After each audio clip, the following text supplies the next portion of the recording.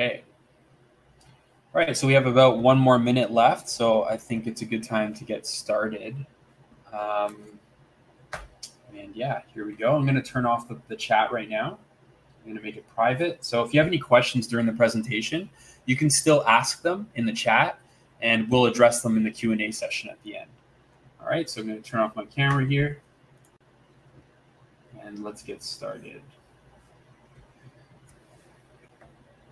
Okay. So the name of this training is The Proven Path to Become a World-Class 3D Games Artist, Achieve Your Life Purpose, and Make Sure Your Digital Art is Never Ignored Again. As I said, you're in for a great training and workshop today. Stay until the end if you can. The total runtime won't be that long at all. And a reminder, I'll be doing a live portfolio review and art feedback session in the Q&A section at the end. If you have 3D art you want some expert advice on, I'm happy to give you a little mini mock recruiter review. And if we're just meeting for the first time, here's a quick introduction. My name is Eddie Faria. I'm based here in, uh, in Toronto, Canada. I've been in the game art industry as a professional for around 13 years uh, and 15, including my college years where I taught in college. I've worked at AAA studios like Ubisoft, um, indie studios, and I did some free, freelance work as well. So I've helped create games that did very well and also some that didn't do very well. I've been a 3D artist working mostly in environments. I've been an art lead, art director, project manager, and an animator throughout my career. I also taught in the college system for about four years, teaching courses from intro to advanced levels. But uh, I'm glad I'm not teaching in colleges anymore because the days of uh, expensive game arts college education, I believe, are going to be a thing of the past for many reasons. So the timing of my teaching career shift seems divinely aligned looking back now. And uh, I'm sure you also see that the uh, economic times are vastly changing. School uh, debt for college might have been a wise investment in my days, but now it's not so much for yours. Uh, just imagine a college classroom experience nowadays where you can't come within six feet of anyone. So this is a very powerful image, and I think it, it really says it all. Um, when we're considering the potential health risks, the whole college experience is looking less and less appealing from my perspective, anyways. Would you really want to go into like deep, unforgivable student loan debt to for this? So my mission is to create a world-class game art school online that offers more relevant industry content and a supportive community that delivers a better learning experience than any of the college programs out there and for a small fraction of the investment. And uh, offers students coaching and mentoring to figure out how this art form helps them tap into their, their purpose in life. Um, so this is really where my career started shifting a lot. I really started believing that like um, I'm not in 3D art just to create pretty pictures, but also to dive deep into my life purpose and what my soul wants to do on this planet. So, um, the main reason I created this online training and this Game Arts Academy are um, I was frustrated with seeing talented students fail. Uh, as a college teacher, I saw way too many students fall through the cracks. Many of them finished school, but still lacked the industry standard skills but um, also the interpersonal inner game skills and mindset they needed to win. Many students of these college programs really shouldn't have been even allowed into into them, but uh, nobody tells them that when they're borrowing the money to enroll. Uh, I also love to teach and always wanted to create my own curriculum. And I've discovered that part of my life's purpose is to help others connect with their life's purpose through visual storytelling. And I think we can all agree here that that's what games can do better than anything else is tell profound stories in an engaging and interactive way. Some of the most profound insights and lessons i've ever experienced have reached me through the stories i've read and consumed in books and games. One of my goals is helping young people like you uh, become competent and courageous heroes of your own life who make games that teach heal and preserve the culture and stories of our ancestors and create a better world as a result. I'm a big advocate of personal growth and self transformation, and I love seeing students overcome obstacles, grow, and become better artists. Part of my mission in life is to help ambitious game art students like you make it up the mountain, and avoid the pitfalls. So, ambitious and naive students usually fail in this field because they adopt one of two extremes when it comes to building skills and creating 3D art that gets them hired. On the one hand, is the undercommitted resources. Uh, the other one is overcommitting resources. These are the three most common mistakes I've seen aspiring digital artists make that leave them discouraged, unmotivated, and defeated after a perceived failure. So I'll give you a quick five minute overview of how this works by showing you a case study from one of our top students, Sarim Ali. But just before we do that, I want to cover what doesn't work and why it doesn't work. One of the two extremes students take is the undercommitted option. This is where they try to do everything on their own to point uh, to the point of hurting themselves. They uh, and you you guys may have done this already too. You mash up all the free videos you can find on the internet and make what I call a Frankenstein curriculum based on what you think they uh, you should learn. And um, also doing this with zero guidance from a mentor or coach. I call this unsuccessful option the all ambition and no advice strategy. Uh, it may save you may save some money doing this, but this approach always costs tons of time and energy. And wasted time and energy often costs you way more than just money. It's not impossible. I've seen some really ambitious students do this, um, but there are some real risks with this undercommitted approach. On the flip side, uh, ambitious young artists go the other overcommitted end of the spectrum and put all their faith into an overpriced college game art program. And most of them go into massive high risk debt to do this. So every community college around offers some some type of digital art program nowadays. Like there's a lot, almost all of them have a 3D program now. Uh, most of these programs are outdated and are spread way too thin and but they always seem to get a steady flow of students because no one really knows that there's a better more cost effective option.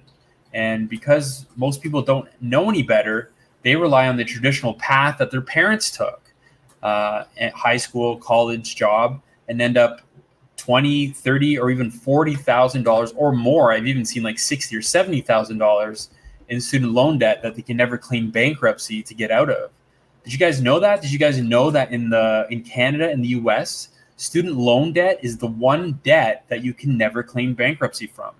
It really blew my mind when I learned that. So as soon as you're done school, your debt becomes due and you have to start paying it off. From then on, for the for the next few decades, you could expect to pay anywhere between 250 to 400 dollars a month or more. Um, that eats up a lot of your free time that you could be investing mastering your art and building your your career. So both extremes options suck. At least the first one only takes your invested time. This debt option is also very painful if you uh, can never make it into a fulfilling career.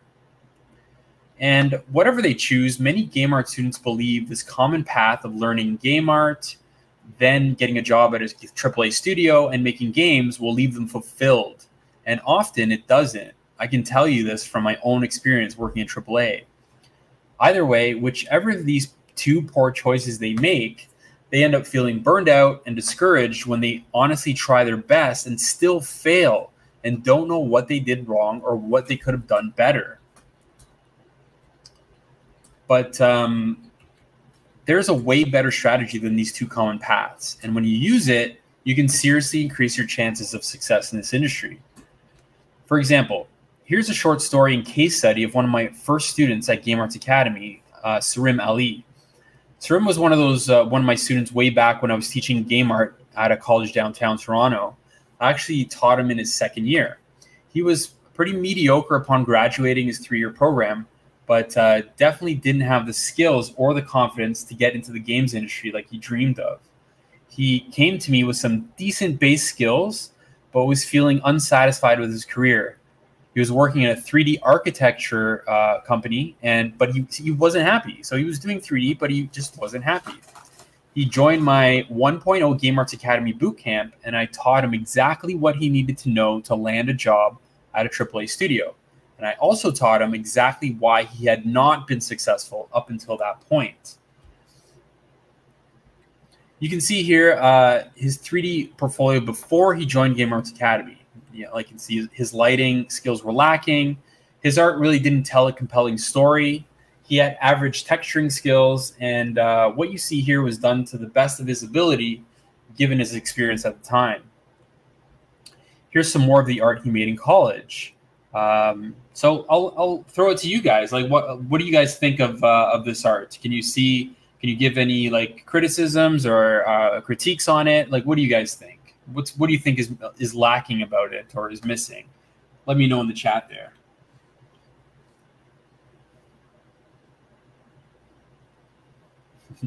Duncan says no comment. Uh, emotion is just techniques. Yeah. Okay. Interesting. Uh, yeah. Let me know in the chat as I'm kind of reviewing this art. Let's let's let's have a little bit of uh, interactivity here with each other. Let me know what you guys think of the stuff that I show you.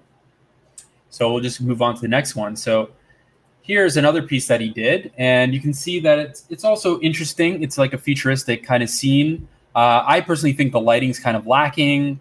It feels a little bit flat to me. Um, it, the composition is a little jumbled with a lot of really dark areas and bright spots. What do you guys think? Any any feedback on this piece here? What do you think could have been uh, could have been done better, or how do you think he could have improved that? So Angel Angel says I like the block out. So yeah, I agree. I think it's like I would say it's at it looks like it's at a blockout stage. It doesn't look kind of it doesn't look finished. Is my is my th- main thing. So let's take a look at another one he did. This is his Batmobile. So it's really good. I think like he did a really good job on this one. Um, I personally feel that he could have pushed it further. He could have like lit it a little bit better. He could have made a little scene around it. Um, the materials could have been better. You can see that even the tires and the the armor kind of feel like the same. They're made of the same material there's no real differentiation between material types. Um, Kay- Kaylee says his lighting makes his scenes feel flat. Yeah, I think lighting was one of his biggest weaknesses. And let's.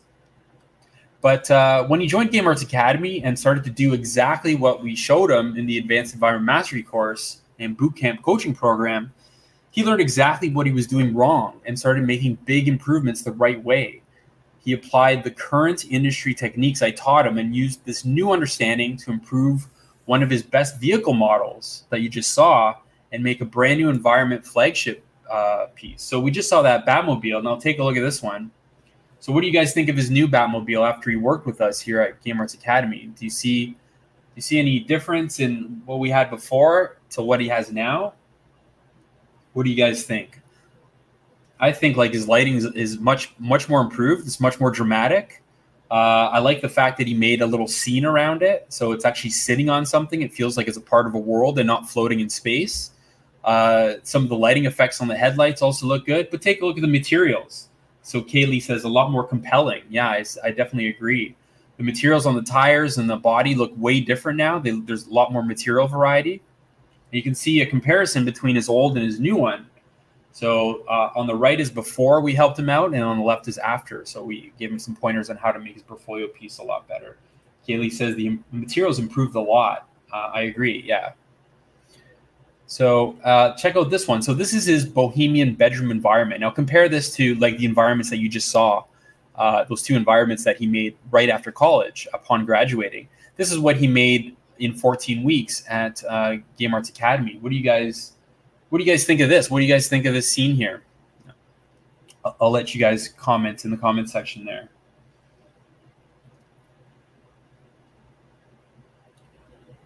Just as you guys are watching this stuff, let me know. Let me know what you like about it. Let me know what could be better. I personally think his lighting is dramatically improved. It's like he's he's telling a lot more story with his props. You can almost feel who lives in this bedroom. Like you don't really need to s- explain much about the person. You're you already like just because of the choice of props, of things on the wall, you kind of know who lives here. Angel says, uh, I really like the way light mixes with the amount of variety of colors, and the ropes are so interesting. Uh, Ethan says, feels like that one scene in the first in the first Last of Us. Yeah, it actually has that quality, right? It looks like a Naughty Dog um, render. So, uh, so I was happy when he made this, and it, he was very happy with himself. And he was also more proud of his work than he had ever had been.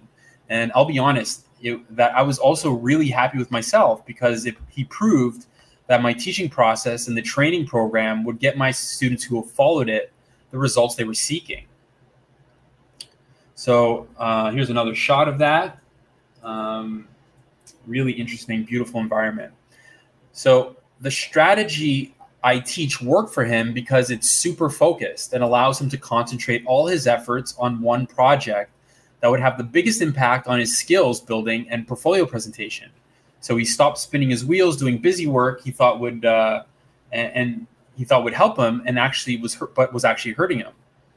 So the main reason he succeeded was that he stopped doing things by himself and on his own.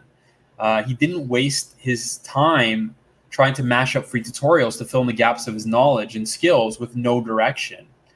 He was so happy to humble himself and get professional feedback and do exactly what he was instructed to do. Uh, he worked extremely hard, and you, you know, you really got to want this if you want to succeed in this industry. And he really, really did. He also invested not just in his education, but his professional network by joining our school. Because I watched him overcome his obstacles and succeeded through the program, I was actually happy to give him access to my professional network when he was finished. I was so confident I could vouch for him that I recommended him to a studio I was connected with, and they hired him right away. So his art and his attitude secured his hiring, but it was my introduction and his stellar art that got his foot in the door. Um, he overcame his impulse to do it all by himself and followed our process, and he got what he wanted in the end. Uh, he was also honest with himself, and he didn't assume that his expensive three year college education was enough to get him to his final end goal he could admit that college left him only with introductory level skills, and he still had a lot more work to do to hit that advanced level. Very few college graduates ever get hired straight out of a college into studios they want to work at. In my career as a college professor, I, I noticed that it was it was a very rare thing. Uh, maybe one one or two percent of the class got hired in the studio. It was uh, much easier to get hired out of school back in my day when there was way less competition in the games industry but nowadays the game has changed. These days is it's really as tough as making as a pro athlete, like a pro basketball player. Um, now you may not know this, but building a world class 3D environment is one of the most effective ways of getting into the industry because it shows high skill in many areas. And it also shows that you can do exactly what they need you to do. And uh, once you have your foot in the door at a studio, you can then get into character art or other areas of game development you feel called to pursue. Um, advanced 3D environment skills are probably your best foot in the door and entry point into the industry. So, overcoming his internal obstacles like self doubt, staying focused and organized with a clear plan were a big part of Sarim's inner game development. Building his discipline and making an impressive environment helped his self confidence and this is ultimately what helped him land his dream job at Get Set Games in Toronto. So, AAA and indie companies and freelance clients want to hire confident artists who can deliver. Uh, and he was able to prove in his portfolio that he had what it takes and uh, what employers want. Because he worked through the Advanced Environment Mastery course step by step, leaned on our coaching and peer community for support and feedback, and followed our three step process to a T, Sarim was able to land himself an awesome job at a very cool studio here in Toronto, negotiate a starting salary higher than he would have on his own, became part of a team making awesome games and a company culture that he absolutely loves. And he set a trajectory for the rest of his career and quality of life and built an off and, and built authentic self-confidence. Here's a summary of what he had to say about following my system for success. I just landed my absolute dream job in the industry, and I would not have been able to do it without this course.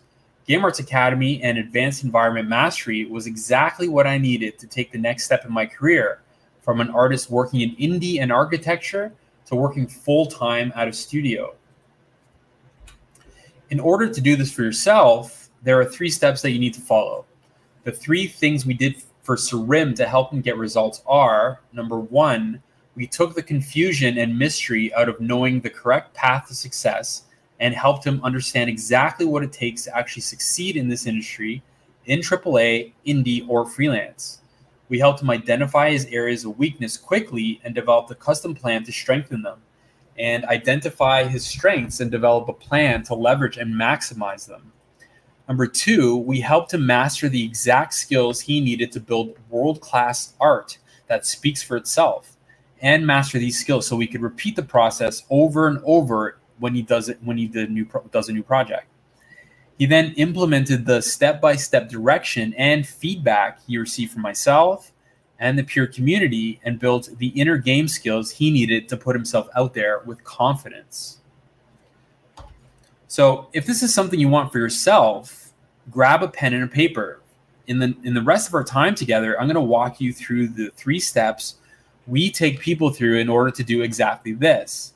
Also, just to let you know, I'm I'm right now I'm looking for the next three coaching program students to personally help create art that help launches their careers and gets results like Sarim did.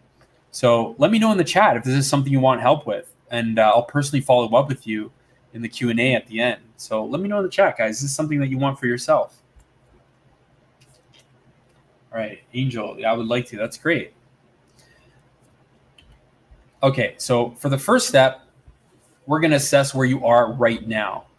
If you have some experience, we'll see what portfolio pieces you have, and uh, we're going to see if any of those can be polished and salvaged. So you may have already done some work in college and beyond, and uh, it's not necessarily throwaway work. Sometimes we look at that work and we assess if it can be saved, like Sarim's Batmobile. Um, and also, if you're just getting started, we're going to help you get started strong on the right foot and headed in the right direction so you make the best of your time and efforts making 3D art. And uh, we're also going to make the help you make the best first impression that you can as you connect with others and build your network.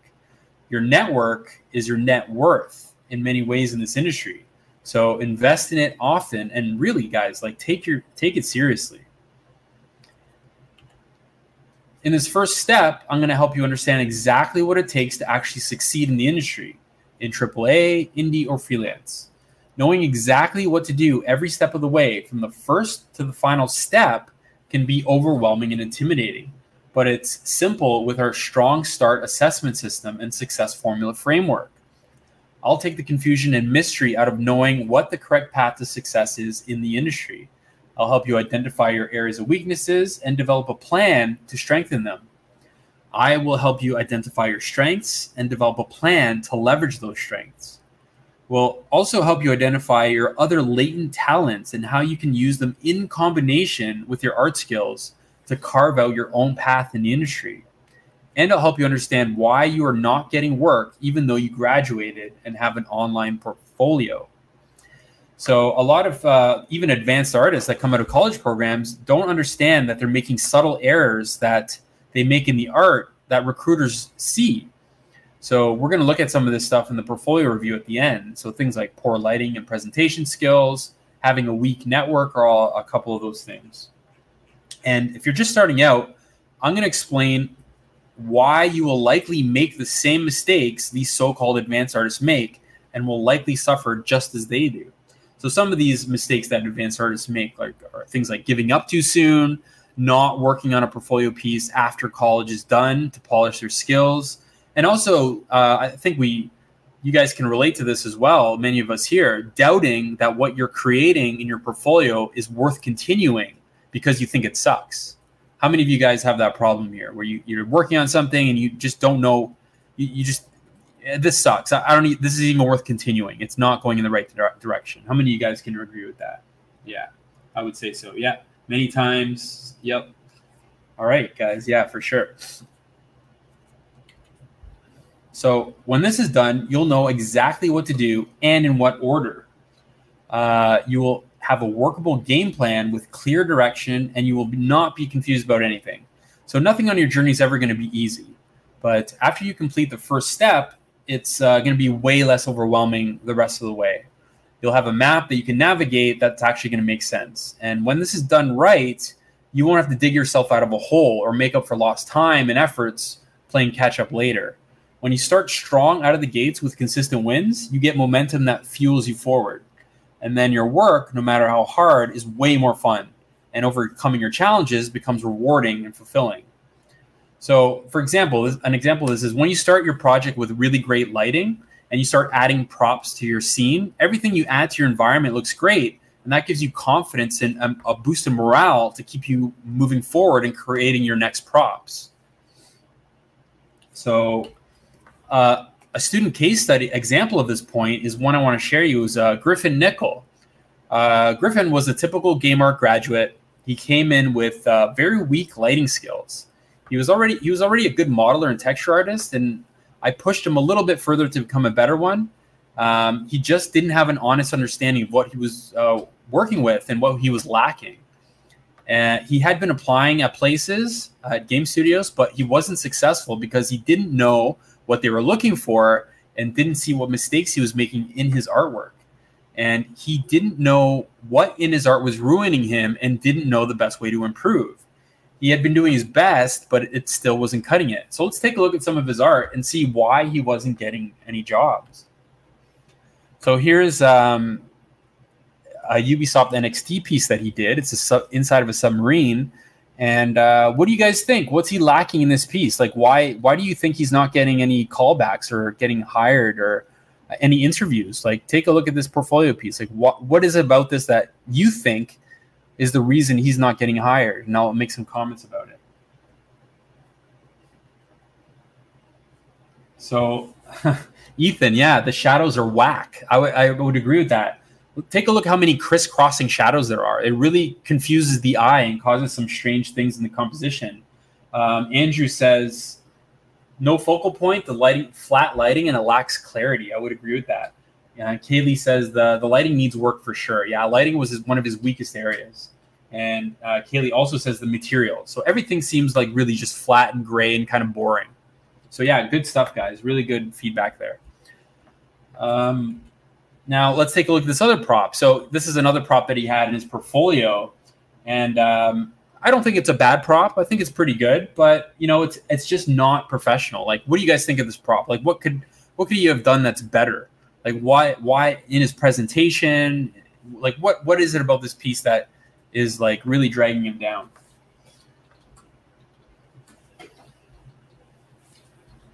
Uh, Angel says create irregularity in the mesh. Yeah, I think it's like it's a little too perfect, right? Like from side to side, the sim- symmetry could be a little bit. Uh, Andrew says the air edgeware looks generated. Wood grain doesn't follow the object. Absolutely correct. Yeah. Angel says maybe some moss would be better. Yeah. So all great points. I also think it's too low poly, right? Like we can see the polygonal edges in it. And nowadays, like you guys are applying for AAA studios, we should never see any polygonal edges in your portfolio pieces ever again. Ethan says the lighting is boring to me. And yeah, I would agree with that. And also take a look at the background. It's like floating in space again on a very blurry background. And I, this is a mistake I see many artists make in presenting marmoset renders, right? You can see a blurry HDR, exactly, Angel, in the background. So it just looks, doesn't look really nice. So let's take a look at another one. So here's another piece that he did for a Ubisoft NEXT. And uh, what do you guys think? Do you think it suffers from the same problems as the other portfolio pieces? Think about the submarine. Think about like the last one you just saw. Like, do you see this some of the same problems here? Yeah, Angel says it's about halfway there. Yeah, I would agree with that. His the depth of the image, the the field is strange. Yeah, there's a weird, really weird depth of field thing going on. Andrew says uh, also texel density and blur. Yeah, it's really blurred very oddly but also like the lighting. Lighting suffers the same problem. It's very flat, very gray. Uh, materials could be better. Composition could be better. Lots of stuff like that. But yeah, he is improving in this piece.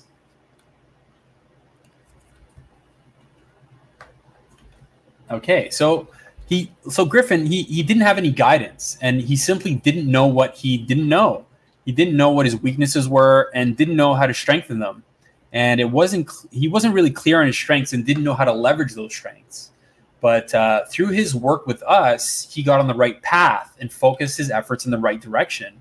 He built on his strengths and strengthened his weak areas to make the exceptional artwork you see here. So this is his new piece after joining our school and it's called the orient express. And uh, so what do you guys think of this piece? Do you think like he vastly improved his skills? Like uh, what do you think of what do you think of this one? how is this better than his old stuff?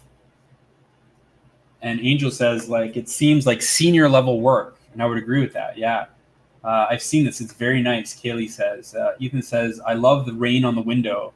And Kaylee, the lighting is great. So we can see that his main issue was lighting before and composition. And uh, his images felt very flat and gray. But now he has more depth to his images. There's they're they're a lot more pleasant looking, and um, he he he's he's now at a pro level, and so. Uh, as I coached him, I, I noticed these things. I noticed Griffin that he was a diligent worker, and I watched his skills improve. So over time, I became confident in him, and I was happy to connect him with a paid environment art job on an indie game project that I was art directing. So here's some of his of Griffin's newest work. This he he literally did this like maybe a month ago. So this is a game, an unannounced project that's actually a game that he got paid for to create. So Griffin actually did the environment in this piece. So what do you guys think of this uh, this this piece? Would you play this game? Does it you look like his uh, he's applying his skills in an effective way?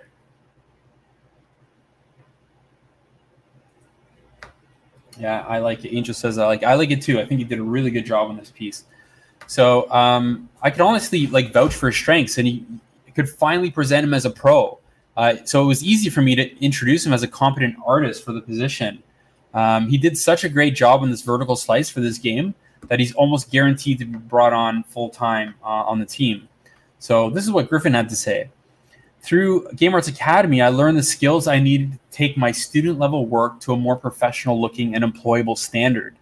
If you have the time to dedicate to it and the drive to better your portfolio, taking part in this course makes it much easier to work efficiently. So, there are a number of things we do in this first step to get students on the right path, and we're going to take a right step in the rec- right direction together right now. So, everything we teach is very action focused and results oriented. So I want to challenge you right now to start on this uh, and take a few quick but high value actions over the next five to 10 minutes. So I see a lot of 3D artist portfolio these days, and I've seen countless over the years of my career.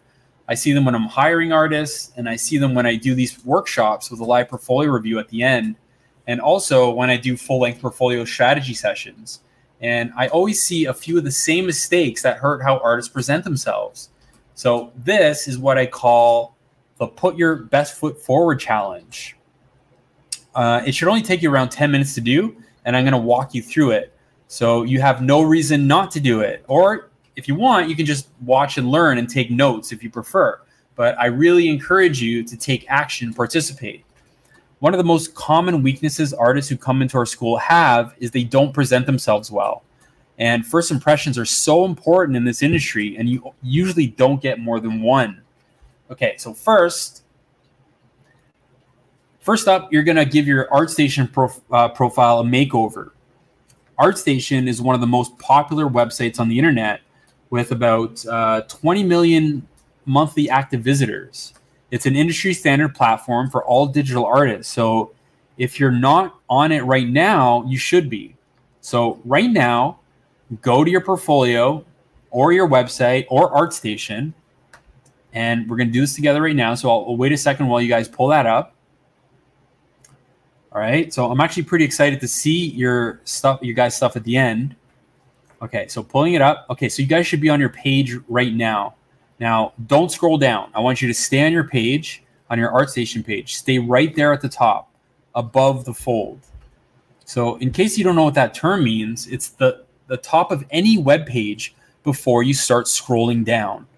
Now, imagine yourself being a recruiter or an employer, and you you have like a stack of portfolios on your desk to look at that day, and you don't have much time. Now, here's my question for you: Looking at what you see on the screen right now, do you feel that you put your best foot forward and are representing your skills and artwork the best way you possibly can?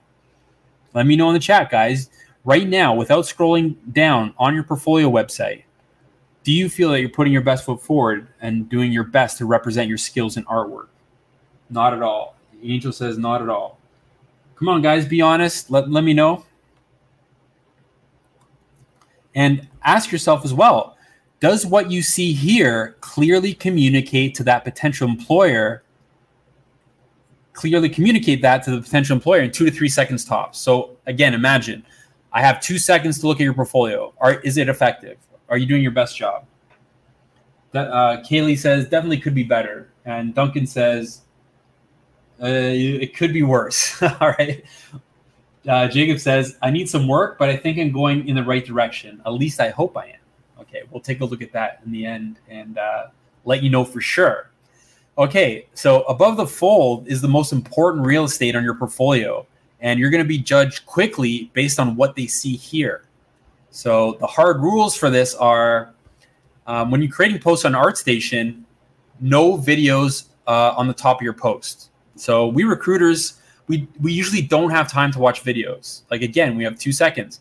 Instead, as put as much of your artwork above the fold so we can see the large body of your work with a small with small and very well designed designed uh, thumbnails.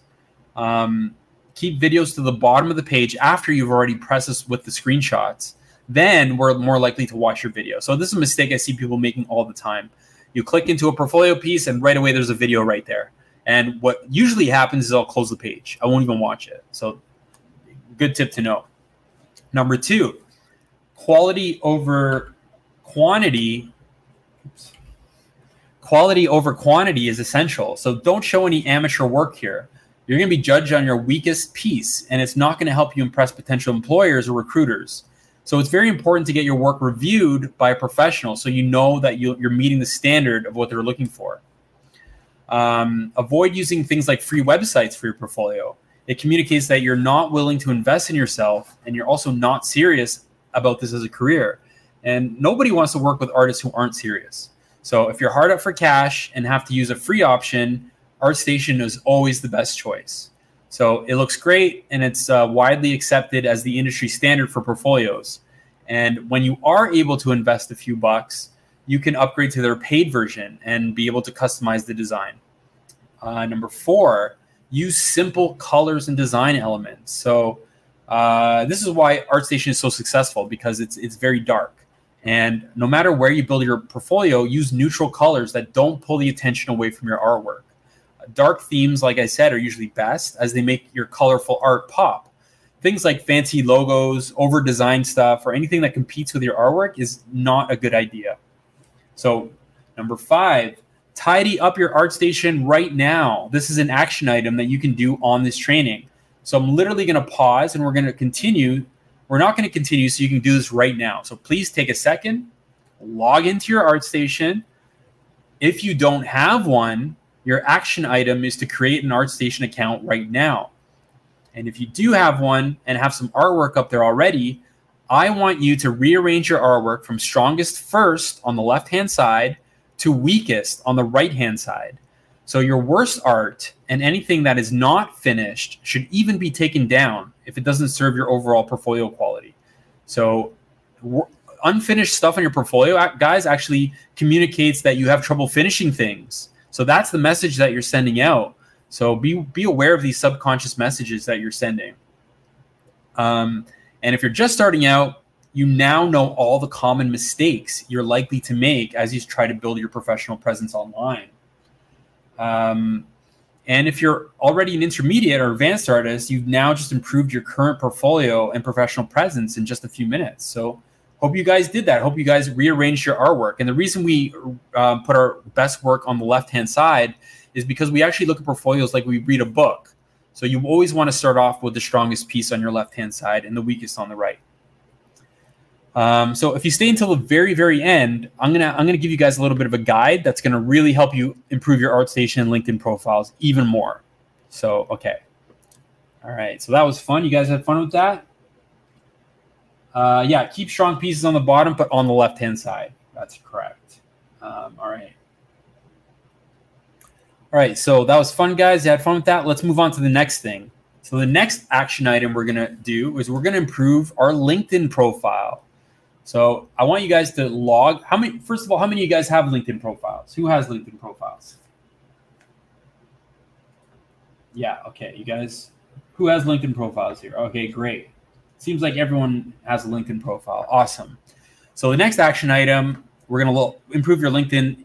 really quickly. So log into your LinkedIn profile right now. I'm going to give you a second to, to go and do this. I'm going to do this too on my, my profile. So log into your LinkedIn. And I want you to maybe all of you guys haven't been haven't doing been doing this, but I want you to go into your profile and click edit. And I want you to edit your headline.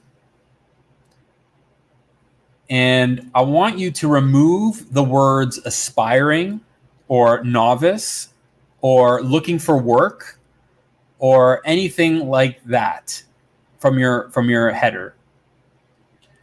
So, and I want you to replace that with 3D artist specializing in and you fill in the blank. So 3D artist specializing in 3D modeling, 3D artist specializing in texturing, 3D artist specializing in environments, whatever your your your your strength is or your passion is in 3D art. So get rid of anything that says aspiring, novice, looking for work, and write 3D artist specializing in you fill in the blank.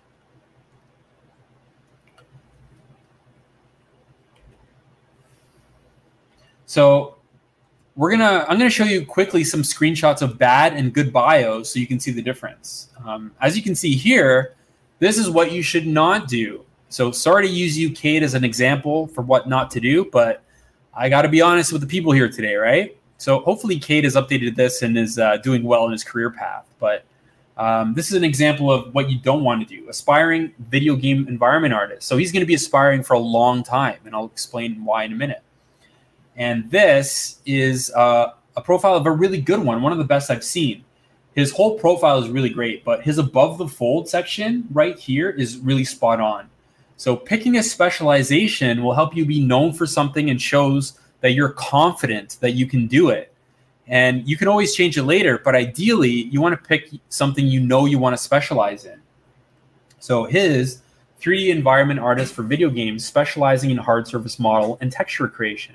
You can also see that he has a banner up so a lot of amateurs, uh, some of the mistakes they make is they don't use a banner of their best artwork. Use the real estate. Also, the profile picture is important. I've seen artists with uh, no profile picture, and imagine what that communicates to recruiters. It shows that you're not confident, that you're hiding, you're hiding something, and it makes it hard for us to trust you. So you take Oscar as a, as a good example. So the next thing you should be doing on LinkedIn regularly is growing your network of connections in the games industry. So to start, I want you guys, okay, we're going to do this is going to be a really fun one. So I want you guys to go to the company page of the studio you would love to work at. So what you can do is in the search at the top, you can type in the studio. So for me, as an example, I'm going to type in Ubisoft. I'm going to type in Ubisoft Toronto. And you can pick whatever studio you want to work at. All right. So once you um, find it, and also, sorry, for those of you who don't have a LinkedIn profile, while everyone is doing this exercise, your job is to quickly make a LinkedIn profile and activate it. Um, so now that you have your dream employer page open, click to the section that um, where it shows the current people. So down to people, the current employees at the company and you, you'll see like a whole list of employees and positions. Now scroll through the people and find uh, those people who are doing the job you want to do, and then right click to open their profiles in another tab. Now, this is going to take some courage. I want you to click connect to make a connection, and you should see open a box to write a short personal message to the person. And so I want you guys to not only connect with these people, but write a little personal message. And I want you guys to do this right now. So um, all you need to say is something like this. So if, you, if you're not sure what to say, say something like this. So, uh, hey, name, my name is, and I see that you are a 3D artist at company. I'm still working to master my skills and hope to work at company your company one day, hopefully soon. I'm looking to make connections here on LinkedIn with other 3D artists who are already working there. I look forward to connecting with you. Best your name. So if you don't know what to write, write something like that. So I'll give you guys a couple minutes just to uh, to write that out. And once you're done that, let me know in the chat if you actually mustered up the courage to to do that.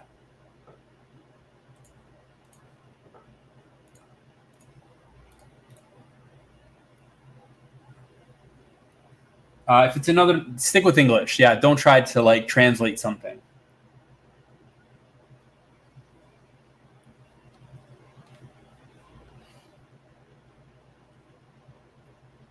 All right. So, so this is a practice and courage, guys. So really, it doesn't even have to be this long. It could be just something short, but make get into the habit of sending, making connection requests with a message attached. All right. Now gather some courage, practice a little inner game, and send it off. And that's it. And once you're done, let me know in the comments if you actually took part in this exercise.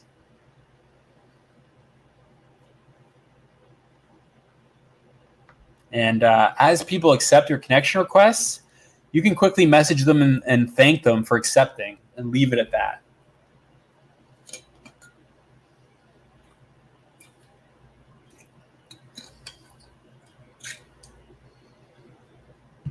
So as you guys finish, let me know. And I'm just going to continue while you guys write that so you can just like listen to what I'm saying. All right. Then you, after you've done that, you can creep their profile and see if they write any posts or if they publish any content and you know make sure to to follow that person so you always get notifications when they post something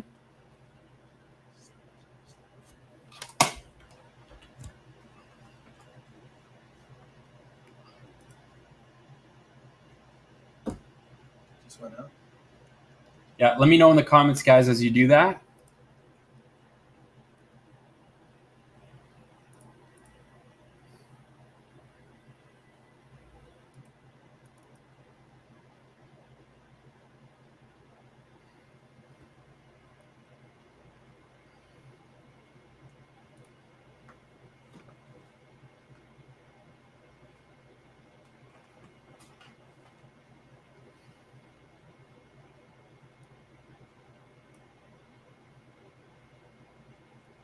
All right. So Jacob says he just did it. That's great. Congratulations. So how does that feel? How does it feel to actually do it? So Angel says he's done that.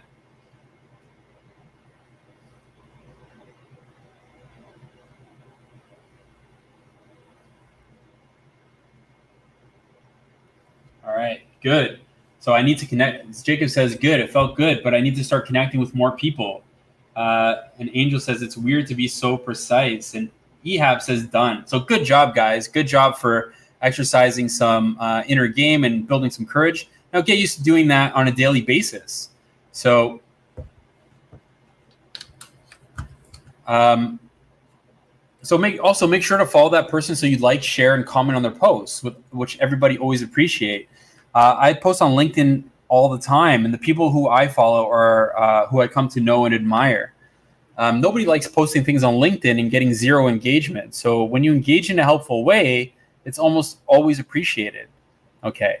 And so for the last LinkedIn profile boosting challenge, I'm going to teach you how to get your recommendations and skills and endorsements growing regularly. Because um, the first thing potential recruiters or employers are going to check are going to do is going to check out your LinkedIn profile and look at your title and your bio the next thing they're going to look at is your uh, current employment status, your skills and experiment experience endorsements, and your recommendations. So you can see um, you can see here this area of the profile page for skills and endorsements, and, and you can reorder this section and make sure your top skills are number one, two, and three. This way, people know um, what you want and to be endorsed for. So I highly encourage you to take some time, at least 20 to 30 minutes a day, and go through your LinkedIn contacts and endorse other 3D artists you know for their skills in 3D art. Also, if you know them well, you can write a few words for a detailed recommendation and do that regularly. So you can see here, uh, this is my own recommendation section. Uh, notice how I've given more than I've received. And uh, so the key, that's the key to getting them is be sincere and generous in giving them to others and others will re- reciprocate. So you guys should be doing this like at least like a couple times a week is, um, you know, maybe grab a cup of coffee in the morning, sit down your computer, go onto LinkedIn and recommend something, someone out of the blue. And you'll find that maybe that person won't respond right away, but uh, somebody will. And this is how you start building up your recommendations. So that wraps up this exercise. I hope that helped. Um, the more skills and endorsements, uh, the more skills and endorsements and recommendations you get, the more impressive your LinkedIn profile will be. And if you want to participate in any of our future monthly LinkedIn profile boosting reciprocation parties, make sure that you guys always open our email so you don't miss the invites. All right. So that's it for LinkedIn. You definitely have enough stuff to do to keep you busy for a while. And if you do what I just showed you and do it over and over again, you'll uh, have a lot of confidence in presenting yourself. And with practice over time, you'll become confident connecting with others on LinkedIn. So uh, these were just a few things that you could do right now to improve your starting point. So, how would you like us to personally help you get started on the right foot and heading in the right direction in every possible way? Let me know in the chat if uh, how we could help you. How could we help you guys? Like, let me know. So, after we assess your starting point and take inventory of your strengths and weaknesses, you now need to build the skills and make great 3D art. Now, now it's time to get you rolling in the right direction with your study. So the next step is gaining the right knowledge and putting it into in, into practice and develop and own your provable 3D art skills. So if you're just starting, you need to learn the fundamentals and start from square one, developing your skills, gaining confidence, and then advancing. And if you see yourself at the intermediate or advanced stage, you still might need to relearn these fundamentals for a better foundation and then work your way back up to the advanced level you can't build a building on weak foundations, and digital art is no different. So you need to go from a beginner level, do the training and homework, and then do intermediate training and assignments. And only after you beat the bosses at these levels should you try the more advanced levels that will help you create art that gets you hired. In your intake, we'll figure out your skill level and your best starting point in the courses. If you're a total rookie or new to 3ds Max, you'll get started on a square one in the beginner track in intro to 3D modeling. You'll learn first learn the fundamentals of 3D modeling and important industry workflows. You will also learn how to use hotkeys and save time to increase your productivity. Uh, you'll learn how to make game ready props that will end up with some seriously impressive pieces in your portfolio. And if you are intermediate or already a graduate, you could go straight to the advanced level courses. From here, you will learn more advanced skills step by step until you are ready for creating your advanced 3D environment. As someone who has hired artists for years, I'll let you in on a little secret nobody told you. You will get hired 100% of the time based on your artwork and provable skills, not on your college degree. So nobody really cares where you went to school, and uh, they usually don't even care if you went to school at all.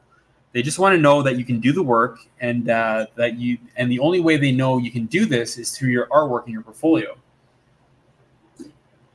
When you learn the provable workflows and work hard, never giving up, you'll learn a valuable skill set that shows in your artwork. And uh, once you have these skills mastered, you'll be able to apply these techniques to future projects and complete them in half the time. So it's just like riding a bike in a lot of ways. So it's going to be difficult and slow at first, but once you get some experience, it eventually becomes second nature, and it's it's a ton it's a ton of fun. So in in and around one and a half years, we've had around 50 students total, and we helped six students get work in AAA studios and on indie games uh, too.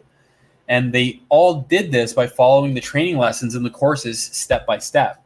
We've also helped another 16 students complete AAA level 3D environments, some students completing two pieces, and even more who are working hard to complete one soon. We've helped amateurs going from knowing little to knowing to nothing to being exceptional. Um, we've helped mediocre artists who thought they were talented master their base skills and actually become super talented and confident 3D games artists. And we've helped students uh, we've helped our students not only upgrade their technical and artistic skills, but also become leveled up versions of themselves. They have more integrity and are more responsible. They're also more self aware of their bad habits and shortcomings that cause their self sabotage and have better tools for overcoming their internal stumbling blocks. I'll illustrate this point through another short story of one of our Game Arts Academy graduates, Ian Polito. So, Ian was one of my first students when I was first launching the school two years ago. And here is uh, a shot of Ian's work before joining our Advanced Environment Mastery course. So, as you can see, it's not a bad piece. And again, let me know in the comments, guys. Like, what do you think of it? Do you, where do you think it could be improved? What do you like about it? What don't you like about it? I think it's a pretty good piece overall. I definitely don't think that it's um, that it's professional level. It's definitely you might look at it and say, well, like, well, that's pretty good, but I can tell you from my experience that it's not good enough to get a job at a AAA studio. So Angel says it feels washed up, like it feels a little bit washed out. I would agree. Also, very dark. It's hard to see things. Uh, the textures could be a lot more detailed. There could be a lot more storytelling elements. Jacob says it looks too dark. I would agree. So let's take a look at another piece of his. So this is his uh, desert war zone environment. And um, so, what do you guys think? Why was he failing to get work with this piece? So, um, this one looks very washed out as well. Kaylee says the in the previous one, too much contrast and the particles draw attention away. Yeah, I would agree. But this piece, not so bad at all. I think he's like definitely improving. And uh, let me know what you guys think. Where, where could he improve in this piece here?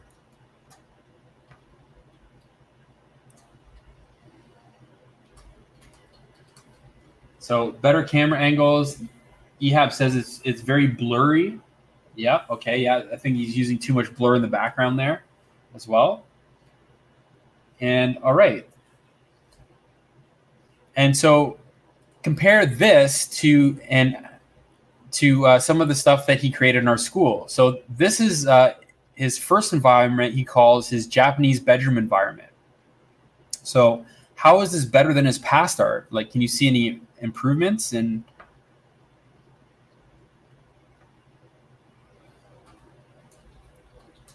in this piece compared to his old piece. Here's another three quarter. Now it has more of a story. Yeah, exactly. This is a big improvement over his uh, college level work. And here's like a full shot of the environment. It's a little diorama that he did. And here's like uh, a close up of the laptop on the bed. And I actually feel that like I feel like I could be in this environment, like the the reflections off the keys on the laptop, the the blanket feels like actually like a blanket. It's very realistic. It's on point. Yeah, I think it did a really good job with that. So he started with this one environment and then created another one right after it to push his skills even further and make his portfolio way more impressive. So this is his second environment called it's uh, the rail car based on Metro 2033, I think it's called. So, what do you guys think of his looking at his first piece of artwork that he did in college compared to now? What do you think of this piece? I love it. Angel says, I love it. Ehab says, more realistic. The sofa in the back is amazing. Wow, that is game art. Looks very professional. Yeah, I would agree. So take a look at like the details that he put in his textures and all the storytelling elements that he has in his textures and all the props, everything tells a very cohesive story. Uh, Kaylee says the couch is fantastic. Um, so yeah, I think he really, really pushed his skills with. Uh, this is the same person as the bedroom. Yeah, same. All the environments I just showed you. This is the same person. So you can see his journey from like not giving up when he was finished college to completing uh, a AAA level environment. So here's what he had to say about his time with us. He says, I found the weekly team meetings every Friday to be very valuable. They provided me an opportunity for critique, knowledge sharing, getting feedback from the instructor and fellow students, and also find potential solutions to any questions or problems I came across. I would encourage someone to join, especially if they are a new graduate or a disgruntled 3D artist with some experience who aspires to work in the games industry but can't land a position at a game studio. Um, I'm also happy and to say I'm also happy to say that um, thanks to his these two environments that you guys just saw and his persistence, Ian was able to land a job at his dream studio, uh, Ubisoft Toronto. But um, the key to make this work for yourself brings us to step three, which we call the top secret missing ingredient for success as a game artist the inner game. This final part is the most important part of becoming a 3D artist who has a meaningful and successful career in games. And it's also the most overlooked and never taught in colleges. You can start strong on this path and develop all the skills, but if you run and hide from the emotional exposure and internal obstacles you need to overcome, you will never take the action you need to take. And you will never beat the boss between you and the next level on your journey. Now, there are many components of having inner game in life, but here we focus on the four most important areas that I see so many 3D artists struggling with. Um, first, you need to assess and improve your self discipline and daily habits. So, the sad truth is that many artists trying to go pro were raised in digital art daycare of their parents' cushy basement. Uh, I know I was. Who who here can relate to that? Who here, with, you know, grew up in your mom's basement and um, that's where your digital daycare was. Our uh, digital art dojo is specifically designed to help you build discipline and practice it consistently. Uh, discipline is like a mental muscle, and when you work it out, it strengthens over time. Without self discipline, success is impossible. Next, you need to create actionable steps to improve your courage, resilience, and anti fragility. You just proved you could you could start to be courageous in the LinkedIn challenge. Uh, it felt pretty good, didn't it? To be to practice some courage. Courage is is like that because uh, it feels uncomfortable before and while you are doing something, but um, and it, it can be very scary while before you do it do it and as you're doing it. But afterwards, it feels so great how many of you guys feel great after doing that LinkedIn challenge? Um, you're definitely going to go through some tough passages and tight squeezes on your journey. And if you avoid action when it gets scary or uncomfortable, you'll give up and never try again. The next component of inner game we call having a value first mindset. And you will start to implement this by being of service to others instead of trying to get what you need from them first.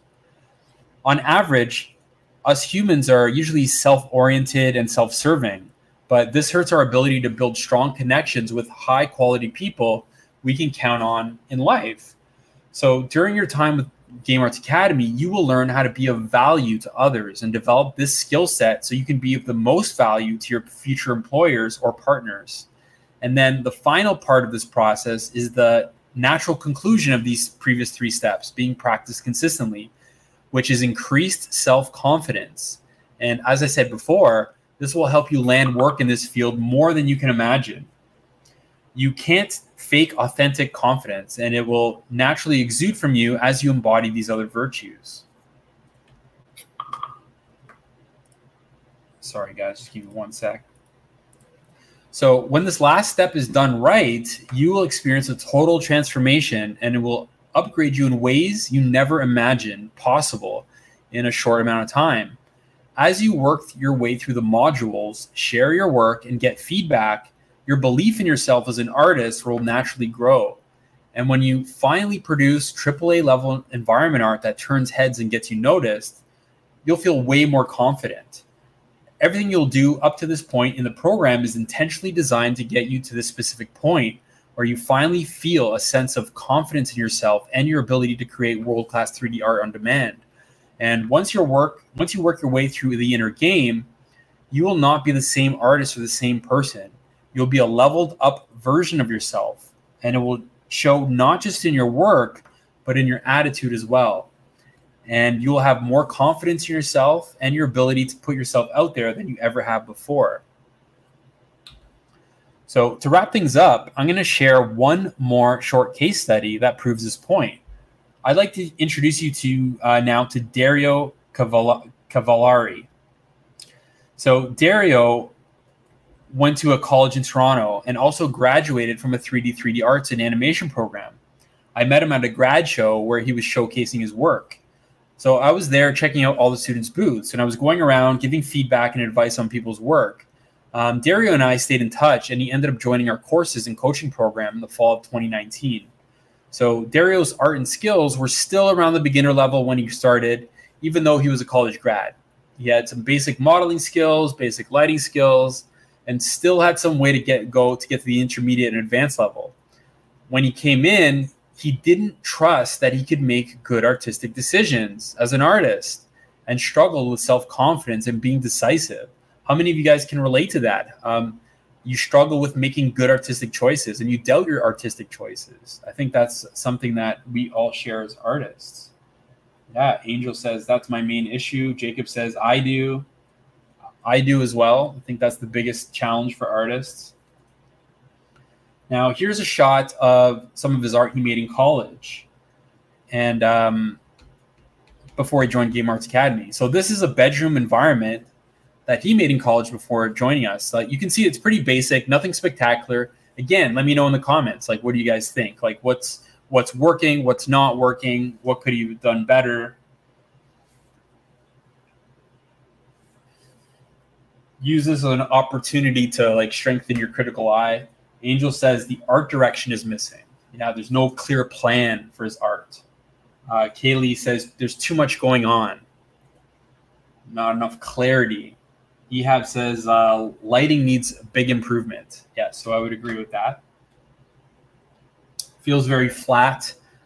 Um, some of the things look a little bit out of scale. Curtains look odd. Definitely lighting could be improved. I think some of the comments we got in other productions, uh, sorry, presentations were the Fresh Prince thing on the TV is a little distracting. All right. So you can see it's pretty basic, nothing spectacular. Uh, Andrew says overexposure on objects objects that aren't focal. Yeah, definitely. And this is a guitar prop he made, and you can see it's not bad, not world class at all. You can see it's just a guitar. His presentation could be better too. So again, this is a big pet peeve of mine. People doing marmoset renders on blurry backgrounds and like using their HDR in the background. I recommend that you guys like if you're if you're going to show off props that you build some sort of mini environment around them, like uh put them on a surface or something like that. Kaylee says it's it's decent but not exceptional. Yeah, exactly. So not exceptional means that he's not going to get any callbacks for uh, jobs. Uh, this is another one. This is an outdoor environment that he made. So, what is missing that clearly stops him from succeeding? Like, why would a recruiter pass this piece up? Why wouldn't uh, put yourself in the shoes of a, re- a recruiter? Angel says out of scale and no focal point.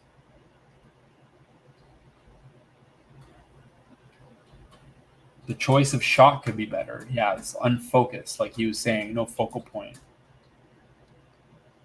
Kind of dark, hard to see things. Fog needs to be reduced. Yeah, Ehab says fog needs to be reduced. All right. So as soon as he enrolled, we got him onboarded and assessed his strengths and weaknesses. So we looked at all those pieces. We assessed all those weaknesses like you guys are doing right now. We reviewed his art and came up with a custom plan for him and helped him determine what the best flagship portfolio piece would be for him to create. We also worked together to make a custom course path for him to, com- to complete to get him to his end goal as fast and effectively as possible. So he started with some solid beginner skills. So uh, a few of our other courses were enough to get him to the intermediate level, but it was the coaching and community support that really helped him make the best of his time and effort. Getting access every week to professional and peer feedback helped him to stop spinning his wheels. Being held accountable in a tribe of supportive peers, uh, sharing a common goal helped him big time. And uh, getting industry expert feedback on his work and uh, how he could improve it helped him accelerate his results. The support structures helped him get his 3D environment finished way faster than he would have on his own. I've seen um, many students start environments and never complete them. Also, when he inevitably faced the demons of self doubt and discouragement, like all artists do, we helped him face them and come out on top. With a bit of consistent guidance, he started to have more confidence in himself and he started to make good decisions as an artist on his own. Now, you guys uh, like the work that, they did on uh, Last of Us 2. the environments, I thought they were pretty spectacular. I think like they were probably the best environments I've ever seen in a video game. Would you guys agree with that? Yeah, absolutely. The, the environments were just top notch, 10 out of 10. So now compare what you guys saw and um, his previous pieces to now his new piece, the new abandoned arcade. He calls Coin Runners Arcade, based on The Last of Us 2. Now, do you think he overcame his demons and made good artistic decisions this time? What do you guys think? Do you think he improved his artistic decisions and his skill set? Angel says totally improved. I would agree. How much time? It took him around, I'd say, five months, five or six months to do this. Yeah, this is an improvement. I saw this trending on ArtStation. Yeah. Not uncommon for our um, students' artwork to be trending on ArtStation. So yeah, what do you guys think of it now? Like any feedback or comments or how, how has he improved over his other stuff?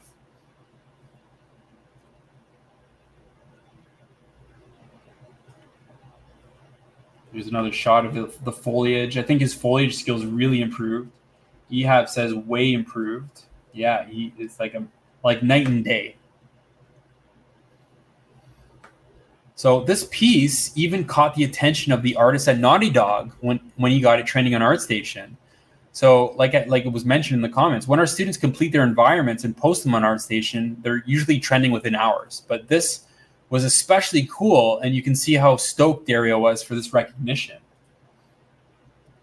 So uh, here's what he had to say about working on this project with us here at Game Arts Academy. Um, Game Arts Academy has taught me tons of new skills, and more importantly, how to become a better artist. The community is very reactive to your problems and delivers steady feedback on your work. Being a part of the team is the best decision I made out of college as often I say to my students, you don't create the environment art, the environment art creates you, or at least it helps you recreate yourself. So, accomplishing what these students did requires you to push yourself and grow beyond your current capacities and stretch yourself in more ways than just artistically. All these steps I just showed you are pretty simple and straightforward, but not easy to do. The tricky part of all this, doing all this, is uh, fourfold. The first challenge is staying organized and knowing exactly what to do in the right order to maximize your time and efforts. Time and energy management is one of the biggest challenges I see 3D artists struggling with. They generally start off very excited to start a new project, but waste their time not knowing if what they're doing is right, self doubting, and scrapping projects and never working on them again. This always causes the next issue, which compounds on the first. Not knowing to do leaves you with amateur art that you have no idea how to turn into pro level art. As you saw in all the case studies I just showed you, there is a huge difference between the amateur and college level art or stuff made by watching YouTube videos and AAA level quality art. Then comes the next sticking point of working on your own and doing all yourself, which is procrastination and self sabotage. Nothing is more discouraged than, discouraging than stumbling over yourself in the, fir- in the first years and producing art that brings out your worst self criticism demons and leaves you in a slump. As an artist myself, I know how self critical we can be, especially in the beginning stages. And when that voice inside starts yelling, This sucks, you suck, it's so easy to avoid the heavy hitting, heavy lifting and escape into gaming for hours or days on end and letting all your artwork remain half baked and unfinished. Follow through and being held accountable is what many aspiring artists uh, lack. And the end result of consistently tripping over these common stumbling blocks is your inner game growth being totally stunted. And I've already said enough about why this is an issue. Any one of these four things is, is tough to tackle on your own, and mastering all four is even tougher. And most give up way before they reach the finish line and achieve their career goals. But if you really want to, if you really want it and are willing and able to be coachable and do the work, it's doable that's why I would like to invite you to work with us. Um, this is me, and this is uh, three of our industry veteran game art coaches Eric, uh, James, and Dylan. Um, Dylan's the one that did that typewriter course that you guys are doing. Um, so there will be more of us in the future as we continue to expand the school.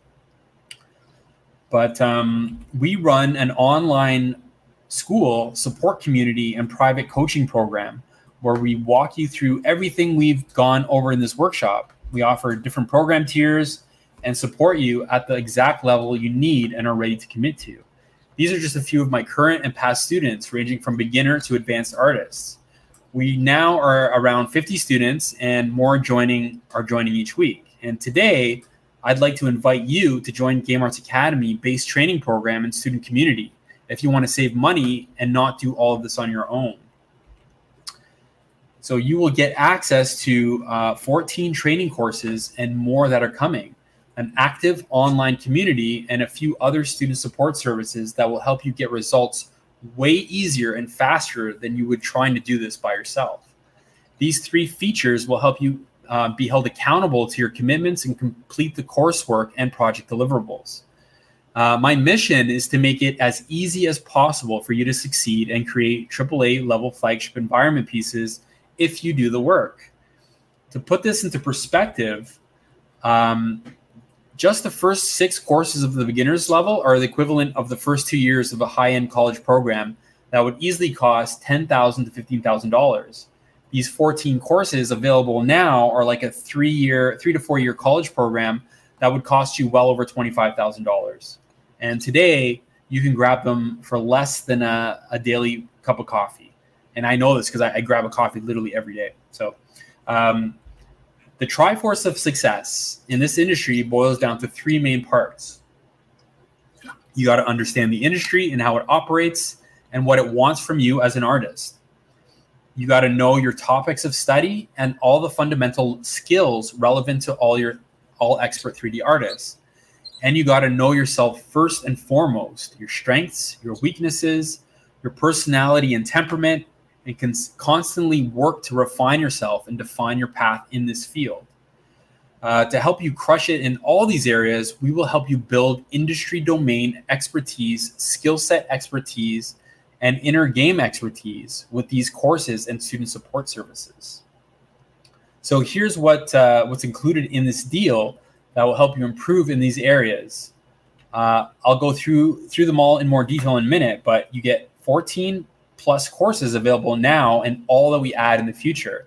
An onboarding and orientation call, an online peer support community, a daily check-in call, a silent study room, a project management tool designed specifically for digital art workflows, and access to our coaching call recordings library. So, as I just mentioned, you'll get access to 14 beginner, intermediate, and advanced courses right away. In the beginner series, this includes uh, things like uh, basic 3D modeling, editing polygons, a subdivision modeling course, intro to texturing, and lighting and rendering. Um, at the intermediate level, that you get access to right away. We have some interesting courses like how to build game ready trees, game ready rocks, how to create World of Warcraft type textures using ZBrush. A new course that we just got that we're really excited about, Fusion 360 for Games, that teaches a whole new hard surface workflow in Fusion 360 that's way faster than what you've been doing up until now, and a substance mastery course that's currently in the works.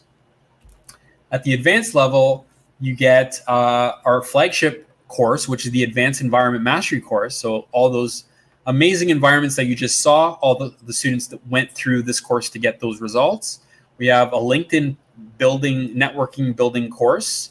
So you can learn way more little trade secrets uh, besides the stuff that I just shared with you on this uh, training. Uh, a skills tune-up course. So this is a great course if you're intermediate, just want to jump in there and polish up your skills to get ready for the advanced mastery course. And then we have a really exciting course that's coming up called How to Create Your Own Indie Game. You know, this course is going to be, I'm going to talk a little bit more about this uh, a little bit later, but they're really exciting. And um, so we're also in the talks with a bunch of other veteran digital artists to create other specialty courses. I'm planning to have at least 20 courses by the end of the year. We're also uh, we also have a group onboarding call together, so you can get to know we can get to know you and your goals better, and we'll get you on the best course path to help you accomplish those goals. Um, you're also going to get access to our peer community, Um, so this is like one of the most valuable aspects of the school is the community. So everybody's like really friendly with each other. We always help each other out. We practice giving first before getting. So that way, the, the, the Slack community is very active. So when you have a problem, you usually get a response very quickly. And um, the, it's a really lively community with a bunch of really great people. It's one of the best aspects of Game Arts Academy. Um, also got a, a, bunch of really cool stuff. So this is the silent study room, and um, we think one of the toughest challenges with artists that artists have is staying focused and doing the work. So um, resistance and procrastination is very common, especially with the endless distractions of the internet. So this tool will help you feel like you're in a classroom with your fellow students, so you can get in work mode uh, from your desk at home. We also use a productivity technique called the Pomodoro, where we batch work sprints in 25 minute intervals. So you can see there's a timer in the middle of the room, and we're all kind of following this timer and taking five minute breaks every 25 minutes. So it's really effective. And here is a screenshot of our G Scrum project management tool for 3D artists. So I've made a workflow for 3D artists.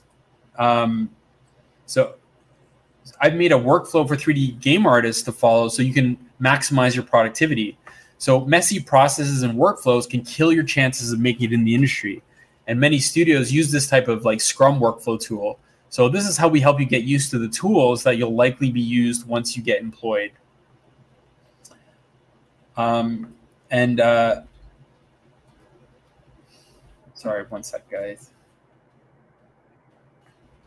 And we have three coaching programs you can apply for if you're interested now in the future, and uh, they're all uh, available for a year long commitment. At the pro level, you'll get access to a bi-weekly small group coaching call and monthly Q&A session where you can submit questions in advance. The pro plus level is the exact same, but you get access to weekly group coaching calls instead of bi-weekly calls. And in our elite coaching program, you'll get bi-weekly group coaching and bi-weekly coaching, one-on-one coaching on alternate alternate weeks.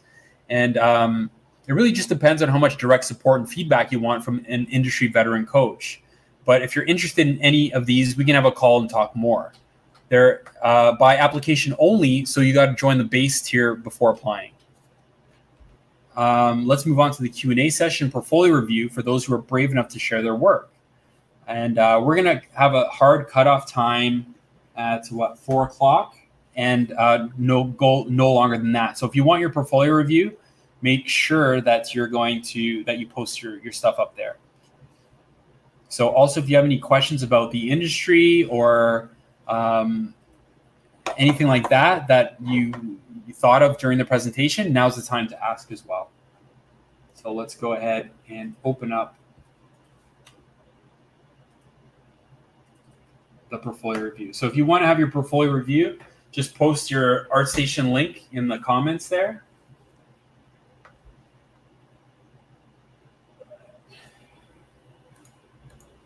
All right, so we got Angel first, so we're going to start with Angel.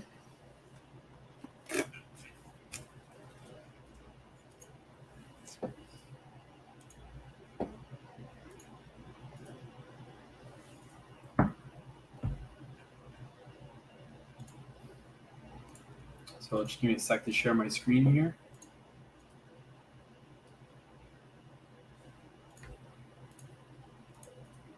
All right. So here we have Angel's um, portfolio, and above the fold, I think you did a really good job. I like that you used a picture of yourself, and I like that um, you have a really cool uh, 3D art piece back there. It's very well textured, and the composition looks really nice. So as a recruiter, right away, it makes me want to explore more. So that's really great. Um, I like how you wrote environment artist. That's Houdini certified. Houdini is becoming uh, quickly like a very powerful tool in the game art industry. So really great that you did that. So just looking at your body of work, we're looking at your thumbnails first, right? And I think you did a pretty good job with the thumbnails. I think like some pieces like the the um, the lantern, you could maybe make it a little bit more close up. It seems a little bit too far for a thumbnail. And um, some of the other pieces, I think, also could be a little bit more close up to the, the subject matter. So, for example, the Tatooine scene might be better if you're a little bit close up to it use the logo as well like use the star wars logo because that's really going to get a lot of attention from people right and anywhere else that you have that you can use logos, use logos as well. Those are really a really great technique for um, ArtStation, and um, really great little raccoon here. So overall, the thumbnails I think could be improved a little bit better. They could be a little bit more compelling and maybe adding a little bit more contrast to them as well. But overall, I can see you have very high quality assets. I think your portfolio overall needs more. It would benefit from having like a flagship portfolio piece, uh, like a piece like we saw with Ian and all those students that kind of lead off your portfolio with very strong way. And some of these um, environments as well, I think you could uh, definitely add more to them. I think you have some great assets in here, but it'd be nice to see more assets, to see more storytelling assets. They feel a little bit bare to me, like they're something's missing and um, I think you could definitely do a lot better with pushing them a lot further. That being said, I think they're great starts, but you could definitely uh, add more to them. Like the Tatooine scene, like there's definitely a lot more props and storytelling things that you could do to uh, to push the scene even further. I really like the stuff that you did with Houdini. Um, in, integrating that into your uh, UE4 workflow, I think is really cool. I would play that up a little bit more on your portfolio and it looks like you have some great rocks here. Overall, I think like everything on your portfolio is really good, but you could just definitely push the environment stuff a little bit more. All right, let's go with uh, Kay- Kaylee next, and we will share.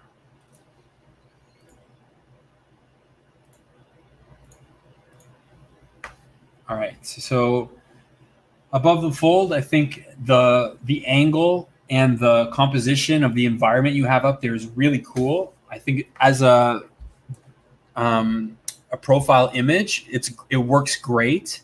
However, it's suffering from the problem of not being done.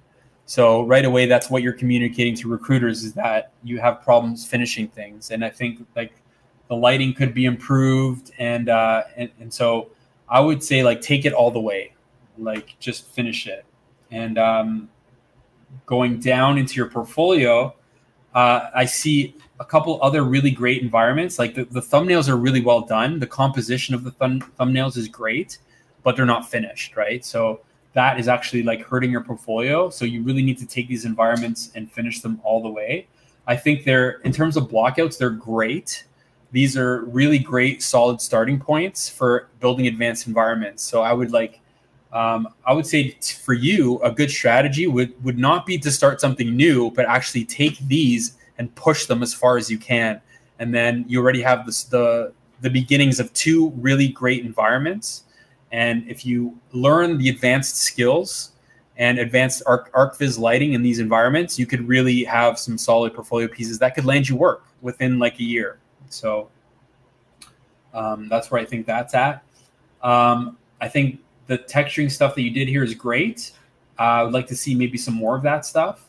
Um, material balls on and substance stuff is make always make really great portfolio pieces that you can bang out quickly.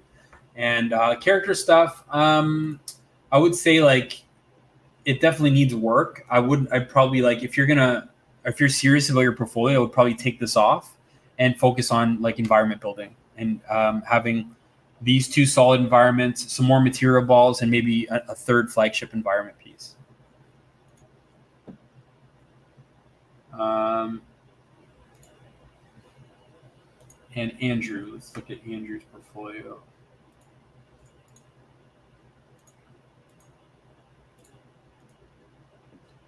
All right, so Andrew's portfolio. So I've actually seen you post a lot of this stuff on LinkedIn. So I think Andrew is um, doing a really great job on his LinkedIn presence because I see his posts regularly on LinkedIn.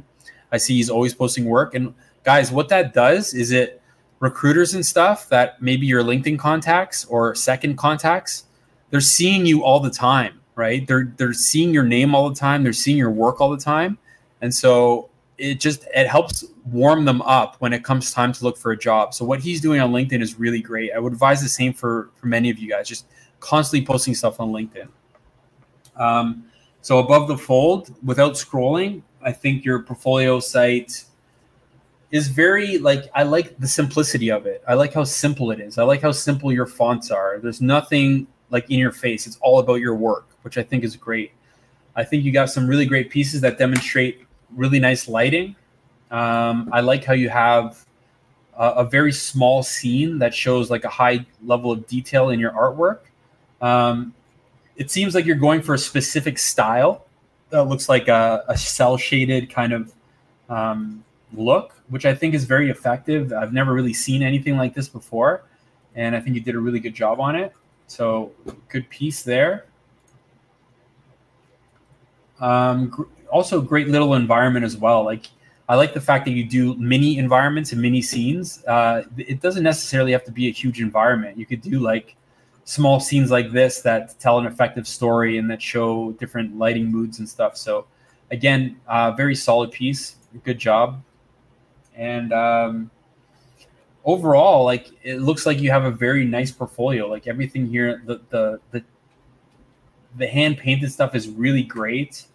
Um, and I would say like the tractor is really cool. I love the clay render. Uh, I would say like push it all the way, like finish it. You know, make it look like as realistic as possible, and put it in a little scene. But um, overall, I think you have a very unique art style that is great, and um, you could definitely use. You could definitely learn some more about environment building and uh, next gen environment techniques, and also like some advanced lighting. I think would be really good for you to do practicing some more lighting, learning like how to get under the hood of like Unreal Engine and things like that. But overall, really great portfolio. I follow your stuff on ArtStation all the time. And let's look at Jacob's portfolio next.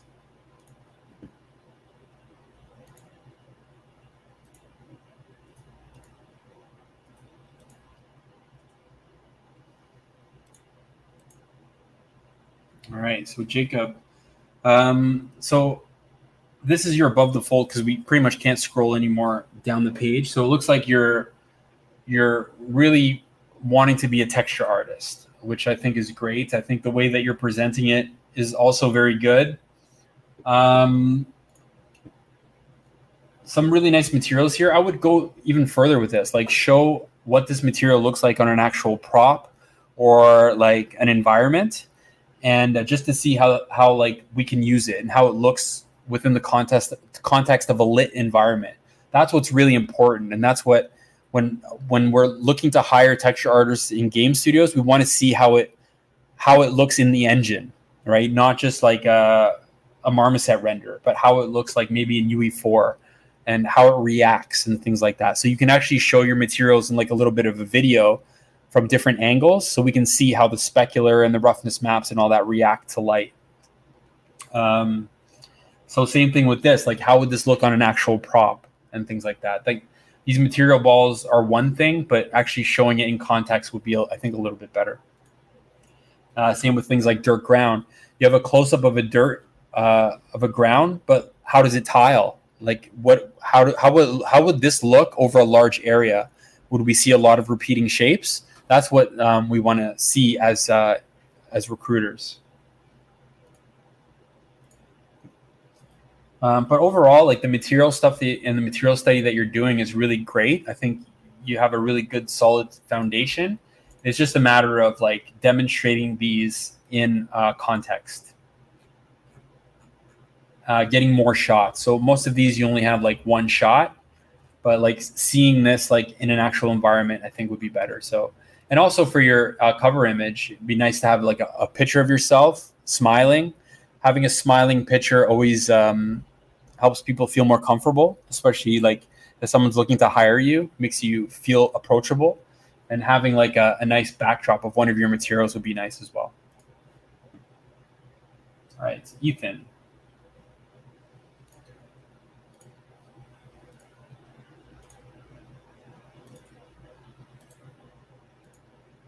Right.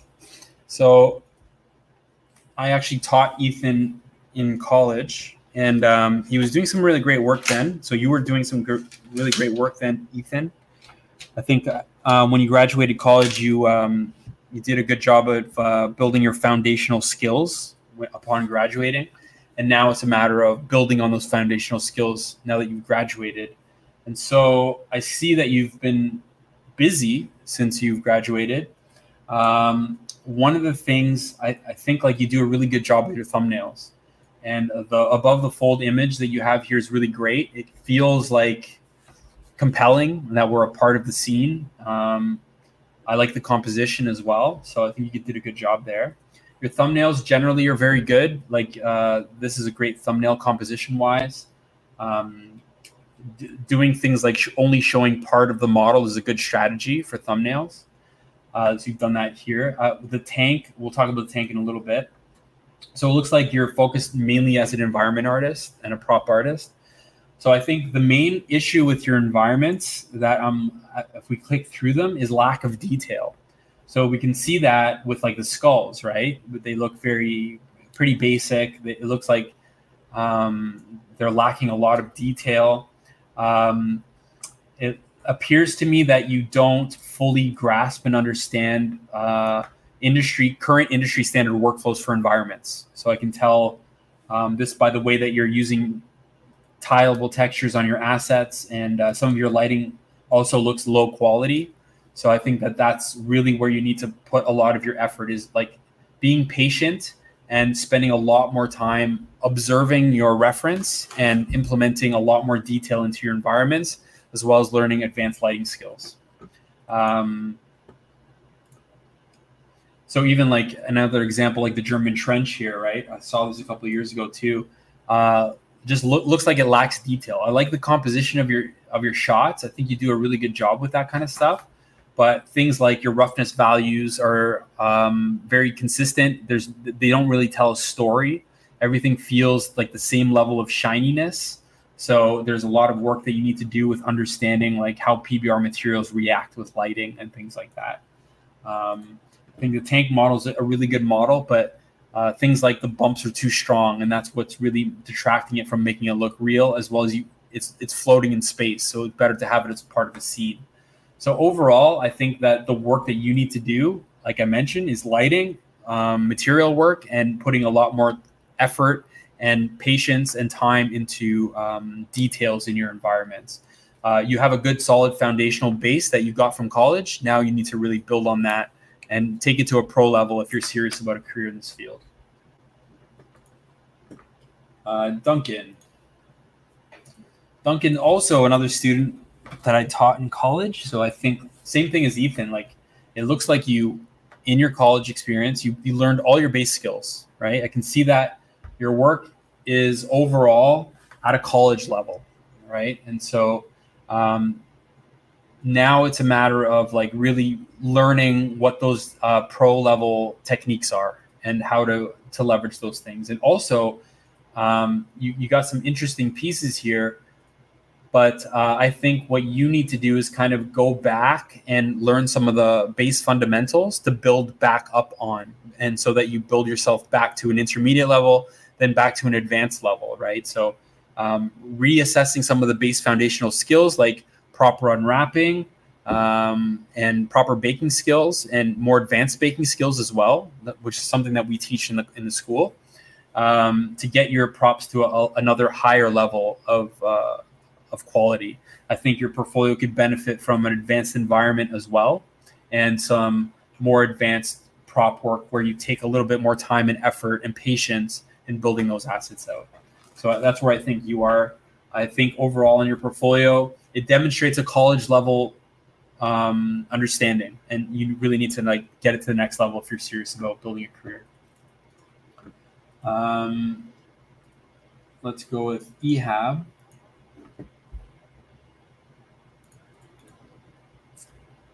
Sorry, one sec here.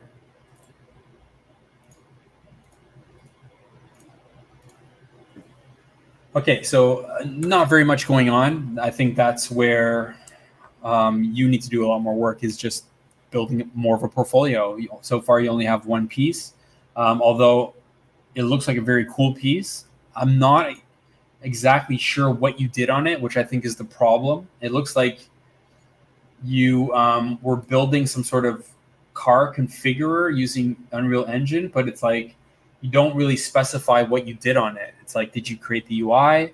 Did you like what did you do exactly, right? And so um, the cars look cool as well. Is like, did you model this car?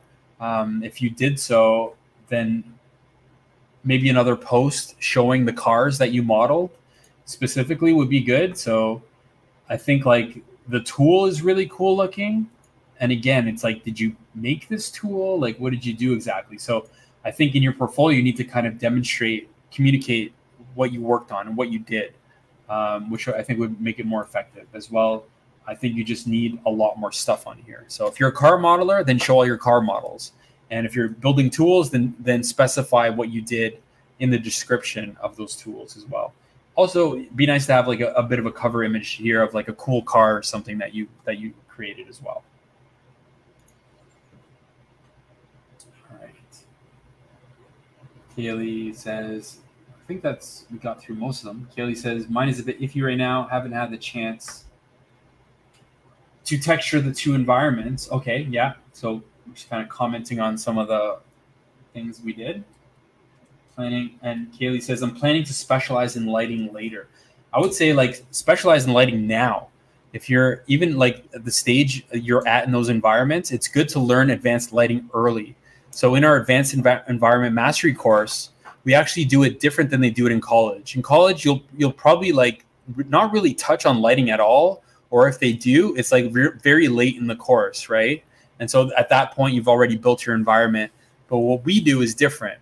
We focus on lighting in like the second module, second or third module of, of advanced environment mastery. And the reason we do that is because we want to get your lighting skills up to par early so that you can light even your blockouts at an advanced level. And then it just gives you a lot of motivation. So you're always working on lighting throughout the entire process. To give you an example, one of our students uh, he created he, his lighting was amazing like Sarim for example he did like probably over 50 to 75 lighting passes on that environment before he got it to that quality right so it's it's something I think you shouldn't focus on later you should focus on early the the earlier the better um, Ehab says I'll have some unfinished work but I'm still working on them now so William just posted his let's take a look at his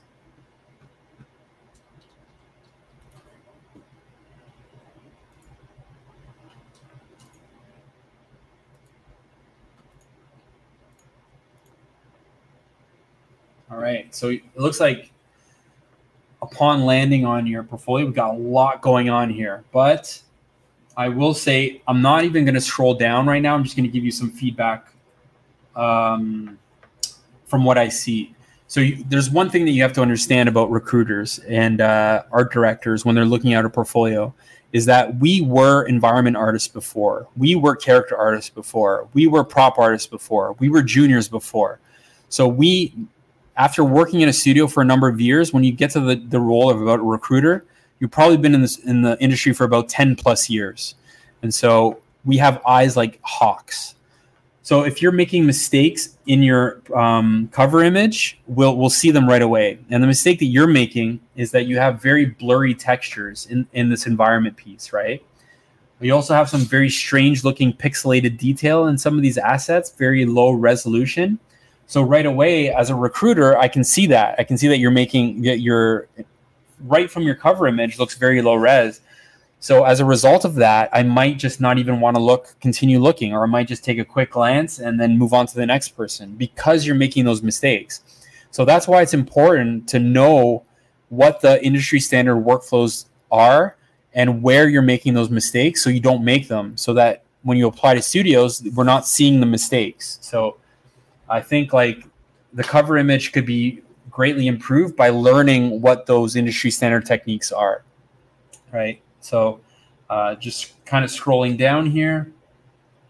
Um, again, I would avoid this is what I meant in the presentation when I said avoid using videos or any players right at the top because we generally don't have patience or time to click through them and look at them, right? Unless you really, really impress us. So I would suggest you put the images first. Um, judging from your images, they also look like they need a lot of work. It looks like you don't quite understand the tech, the proper environment art techniques, like uh, smoothing groups. Even I can see a lot of faceted edges in your trees here, um, and it looks like you're using you're not using tileable textures in your environments, which is what the industry standard uh, workflow is for for these environments. So I'm not sure about that. Like it looks, they look like very low resolution, so that's why I'm kind of guessing. But um,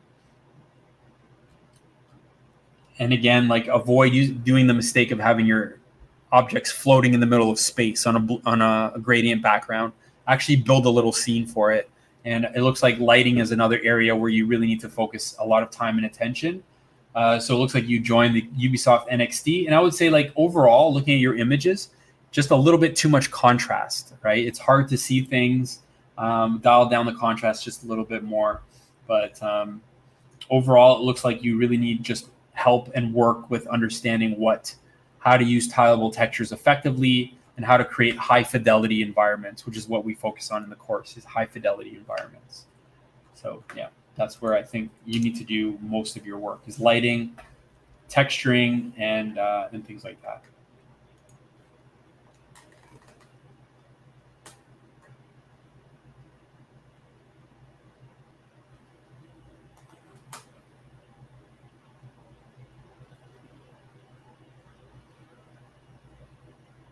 So yeah, there's a comment, Angel, that you made. I'm interested in having. I'm interested, but I have some questions. So if you guys have any questions about the course or the program, and you want to ask me directly, like offline, you can email me. I'm just gonna leave my email address here. and you can send me a personal email and i'll if you have any like specific questions about the course take my email down and just write me an email and I'll, I'll get back to you right away. Uh, so Jacob says, thanks for the feedback. Ethan says, cool, thanks. Angel, thanks for the feedback. Um, Ehab says, built the car in the environment and built a tool in Unreal as well. Cool, man. So show your cars, like show off your cars individually because they're really excellent models, right? So you definitely want to make some individual portfolio pieces there.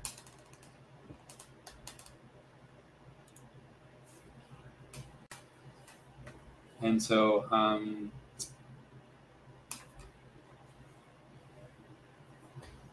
all right, sure. Thank you. All right. So Angel says you're, you already signed up. So congratulations and welcome to Game Arts Academy. That's, I think, uh, a really great um, decision that you made, and you're really going to get a lot out of our community. And we look really, really look forward to working with you. I think you got some great base skills to build up, to build on. And so, yeah, welcome Angel to Game Arts Academy, and you have Yep. Make sure you make those car renders. Um, so we got about one minute left, guys. So uh, the button's still up there on the chat. So if you want those um, bonuses, um, just you know, if you want those bonuses, then just like you know, click on that offer right now, and you can get access to the school right away. Um, you also have about three more days to jump on that price, so you have some time to think about it some time to maybe ask me some questions personally offline or some time to like um, you know talk to your parents or your spouse about like getting the funds together to join. It's a really great opportunity to get in super super cheap at a very high quality program with a great community of people and some very nice supportive services that will really help you to take that next step in your career. If you're serious if you're truly serious about stopping spinning your wheels and making this um, a viable career for yourself in the near future and within the next year. So, um, so yeah, guys, thank you so much for joining me on this presentation. It's four o'clock right now. We're gonna stick to our word and wrap up right on the four o'clock mark. So, um, and so Jacob, if you said so, those of you who say like I would really like to join, but I can't afford it, email us. We can work something out. Uh, we, we definitely don't want money to be the barrier to entry to our program. We can always negotiate something. So if that's the position you find yourself in, then take down my email address. It's right there. Email me and we can work something out together. And, uh, and you know, so thanks everybody for joining me on the presentation. I wish you the best in your career and your aspirations. One thing that I will leave you guys off with is um, don't give up. Like if this is something that you're truly passionate about and uh, you really love, always work consistently on your projects. Don't give up. Make sure you're always working on the next thing. Make sure you're always learning and growing. Um, it's only the students in our program that don't give up and that really, really want this that end up getting jobs in AAA studios. So, um, so that's pretty much it. Have, everybody have a great weekend, and um, we'll, yeah, nice meeting all of you you guys again some really great portfolios. Thank you guys for joining and uh, feel free to email me if you have any other questions. Have a good weekend guys.